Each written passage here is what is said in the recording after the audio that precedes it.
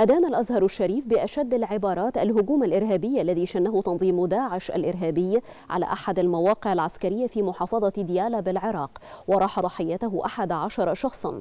وجدد الأزهر في بيان له رفضه لكل الجرائم وأعمال العنف التي ترتكبها هذه التنظيمات التي يتبرأ منها دين الإسلام ورسول السلام. مشددا على ضرورة التضامن الدولي من أجل اقتلاع هذا الإرهاب من جذوره والقضاء عليه. هذا وقد تقدم فضيلة الإمام الأكبر الدكتور أحمد الطيب شيخ الأزهر الشريف بخالص العزاء وصادق المواساة إلى العراق قيادة وشعبا وإلى أسر الضحايا داعيا المولى عز وجل أن يتغمد الضحايا بواسع رحمته ومغفرته وأن يرزق أهلهم وذويهم الصبر والسلوان.